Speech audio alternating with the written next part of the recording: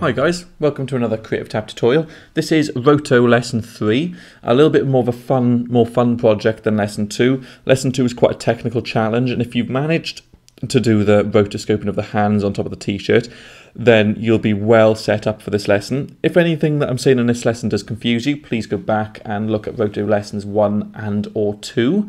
Um, and yeah, you should then be ready for this lesson. So like I said, this lesson's a little bit of a nicer exercise. Basically, you can tell what we've got. I've changed the colour of the man's skin, um, but we've got the challenge of the fact that this little girl, um, she walks in front of him, and so we've got to combat that. Now, in order to change the colour of his skin, all I did is, I, if I disconnect this, I took a grade node and I just went to the lift and increased the reds. And, you know, I could have done this with any colour, I just, the red was just first, so it was just easier. Then what I've got to think is it's doing it to the all footage, so my mask input needs an alpha channel to work off, so I've generated that alpha channel, but this time with two roto nodes and a channel merge, and I'll go through exactly why I've done that. Okay, so if we view my channel merge, and I'll explain what the channel merge is and what it does and what it's doing. But if I view that and hit A for alpha, you'll see that I've got the man's arm and legs, um, but you can see that this little girl, as we come to here, you can see her face starts kind of blocking off that bit. So what I've actually got going on is within RotoPaint 2, it's labeled, you can see man, arms and legs. I've animated back arm, so let's have a look at back arm. Let's unlock that and let's hit Q so we can see back arm is the back of it, the you know the arm at the back. So if we turn the alpha channel off, you can see that that's it. So I'm going to lock these now. Okay, and I've just put them in little folders just because it makes it simpler.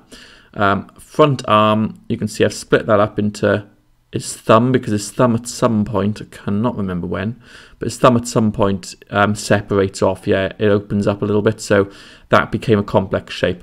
So again, it's really important that you split these up all into shapes. So I've got his forearm, I've got his upper arm, I've got his hand and I've got his thumb okay? It's really important that you just um, separate them off.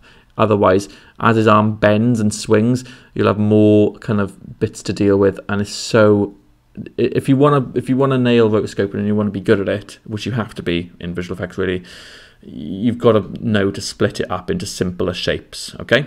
And then simpler shapes mean less points as well so yeah got his front arm his back leg and his front leg from this, if we just look back, we have got an alpha channel of that. Okay, and obviously some motion blur on there as well. Um, for the motion blur, I'm pretty sure I've got it on shape in this one, or no, it's on global, okay? So it's on global, so they all have the same values applied to it of 1 0.5, all right? Um, now let's have a look at my other roto node. This is called roto cover up, because we're viewing this roto where I've said these are the man's legs and arms that I want to colour.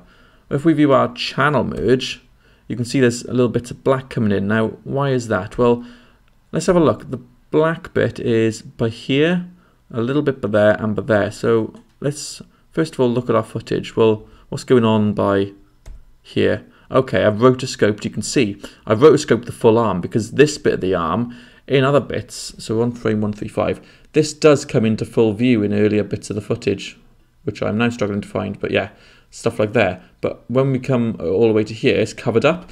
So without, if, if I used just this roto node as the mask, you'll probably understand, yeah, it's, it's basically including his shorts, it's including this little girl's hand as her fingers wrap around, and it's including this, this t-shirt, and we don't want that. And there's two arguments to this. You either create what I've done here, a little cover up, and use this channel merge to combat that, or as you're, anim as you're animating the roto around his arm, you just kind of, you just stop the roto over there. But you can see the shirt is quite creased. So imagine that line as his arm, frame by frame, moves back that that's just going to be a real, real difficult pain to, to animate, rather than if you just move this whole roto back like that, and then you, you do the t-shirt separately. Honestly, it's a lot easier doing it that way. Um, so what I've done is in roto cover up, let's view the alpha channel of this. This is probably his t-shirt, so let's have a look at the naming. I've got quite a few in here. Um, man, leg, leg, leg, leg, leg. Man t-shirt. Okay, yeah, so that's that's a t-shirt cover. Basically, I'm generating an alpha channel where I want to cover up this alpha channel. Okay, so if we let's see, there's more going on. Where the girl crosses him. Uh, I think she crosses him quite early on, actually. So let's have a quick look at the footage. Yeah, she crosses him. So I know that I've made his leg his leg I want to be red. So I know that I've got a, wherever her leg crosses and her dress crosses by here, on this roto node, I've, I've basically created an alpha channel, okay, saying I don't want her dress to appear all red, okay. Now, let's have a look. I've got an alpha channel then for a dress, and I've got an alpha channel for his feet, but there. And what this channel merge is doing is the operation is set to minus, okay. So if we go there, basically it's saying A minus B. And what that's doing is this B pipe, which is my cover up, it's then, it's first of all, it's generating an alpha with his arms and his legs, but wherever the rotos from this roto paint overlap, it's cancelling it back out. And what ends up happening is, let's get, where's she crossing over? Yes, yeah, so we've got his t-shirt coming down. Again, it's different from by here. Basically, when it uses this as the alpha channel, you can you can see what it's doing. Her fingers are coming back in and her head, but there, you know, it's it's taking all of that into account. Okay, so then we've got our proper finished um, mask. Okay, and again, the great thing about this is now I can come into the grade node. Ah, let's turn him into the Hulk, for example.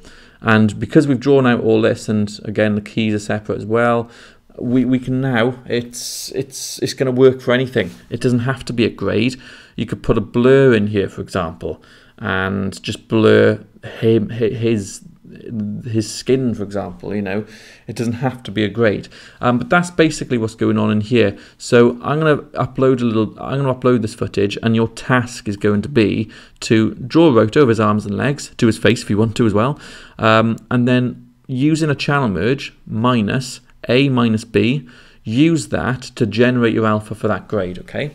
So I hope that kind of made sense for you guys. Um, yeah, so hopefully I'll see you in the next rotoscoping tutorial lesson 4.